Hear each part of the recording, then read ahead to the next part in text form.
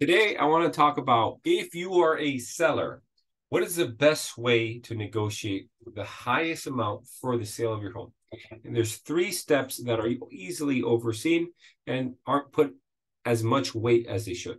And the first one is to prepare. And what I mean to prepare is not only just prepare the home, prepare yourself and prepare what you are going to see. So two things that could help you. You can hire an appraiser outright and pay for it. So that way you can get a good idea of what the home is going to be. And number two, for the preparing side, is a pre-inspection. And what this is going to do is actually going to help with the second part of it as well.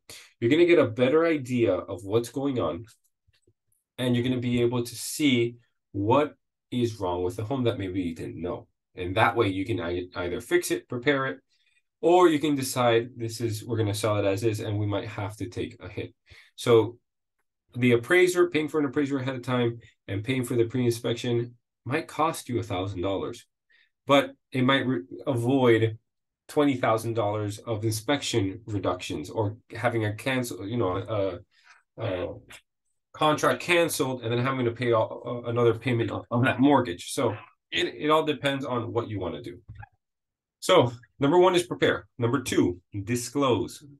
So the seller's disclosure form that we typically put out when a home goes for sale, very important, try to detail everything. And the reason is me or us as realtors, we use that as the basis point of this is how the home is and you're going to be purchasing it as, as is. So do not negotiate on these items.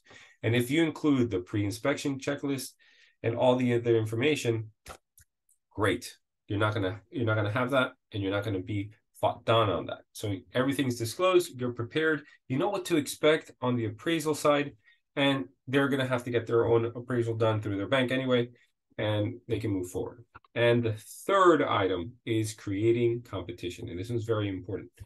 Homes will sell at the right price, but they the the more competition, the better the terms and the aggressive offers that come into you as the seller. So there's a number of ways you can do this. One is scheduling showings at a specific time. And two is making the home attractive enough to drive a lot of people through marketing, through professional pictures, uh, really getting the page out through social media and inviting people to open houses. So when you combine all that, you're going to get a lot of people. Now, the people who are serious the motivated buyers, they're going to be putting in offers. If your home's been on the market for six months, they're going to see the home and say, wow, this is perfect. This is exactly what I wanted. What's wrong with the home? Why hasn't it sold? And they're going to see that the home has been sitting on the market. You don't have any offers, or possibly your home price has been dropping over time. So, what kind of offer would you make? Would you make an aggressive offer or a safer offer? Likely a, a safer offer. Now, the opposite, you get to the home and there's lines of people. Everyone's there. You hear other people that they're going to be putting in offers. There's um, the, the agent tells you hey we have a ton of offers.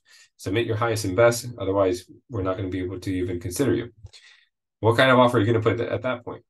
Definitely a more aggressive offer. So treat the price as an advertising price to draw in the people and create that competition. So the three steps were to prepare to disclose and to create that demand through competition.